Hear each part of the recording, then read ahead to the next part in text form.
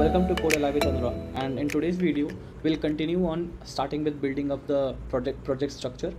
So uh, let's first initialize our Go project and create a project directory for that.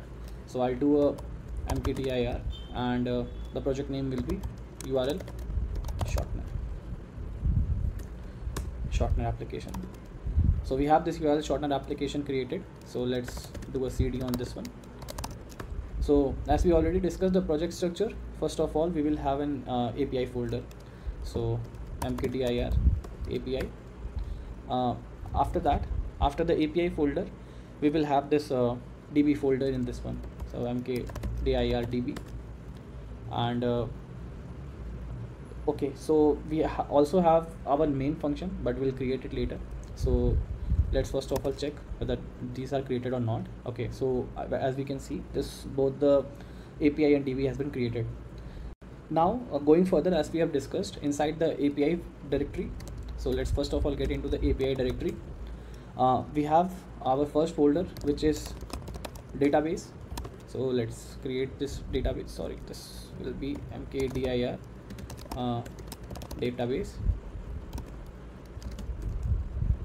so inside our API directory we have this database directory first of all. And now create let's create uh, utils. So utils will be here. So both utils and database has been created. Uh, now it comes to models. So this will basically we have the structure for request and response which will be present in the models. So mkdir models. And the last one will be the routes. So mkdir routes so let's first clear out the terminal and I'll show you. So these four uh, directories has been created inside our API directory right? So and uh, apart from that let's move forward and uh, let's go ahead and create our initialize our go module. So that will be the top level of the project which will be url shortener.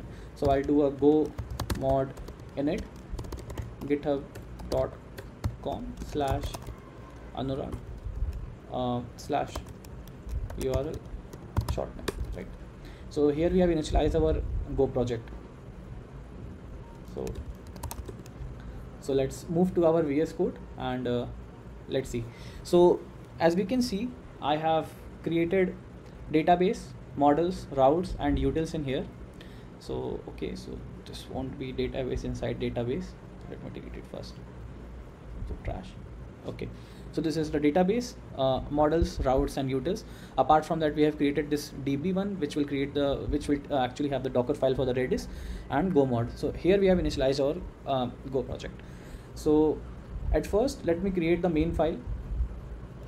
Let me create the main file for us which will be the main.go and this will be basically the entry point of our program which will be package main right? So next we have our uh, five endpoints which will be uh, tag adding the tag deleting url edit url and get.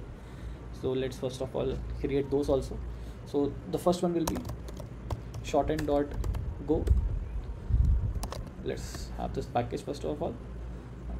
shorten dot go.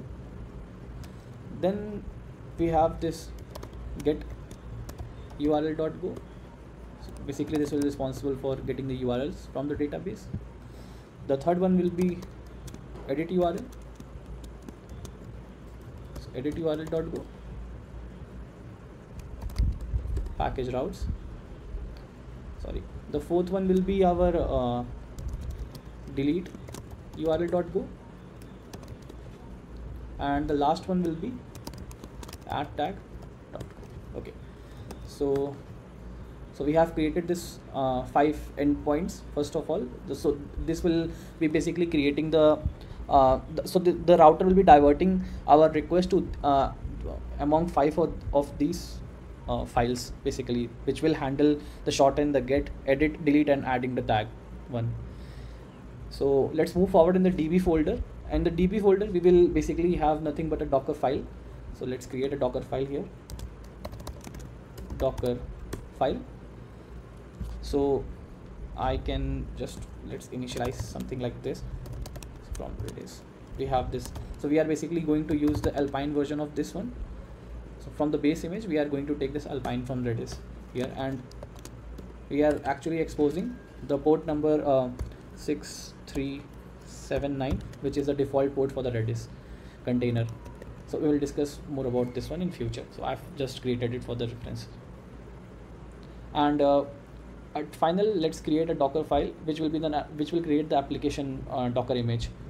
So this will be docker file here. Uh, I will just uh, initialize it a little bit. Uh, this will basically a Golang application. So it will be from Golang and I will be using the Alpine version of that. Okay? So we are done with our docker files. So at last we have the docker compose docker compose dot yaml. So so this will be basically having our doc so this will be basically used for multi-container communication and all right? So uh, and also for having for having our all the endpoints and uh, db passwords and db addresses all the ports and all we can also create one more file which will be uh, basically .env file. So let me create a .env file here. So I've created a .env file where we'll be uh, adding all the details regarding to the port and the host and domain kind of stuff. Okay. So yeah. So that's it for the today's video. Uh, we will be continuing uh, con continue working on the uh, this project in the for further videos. Until then stay tuned.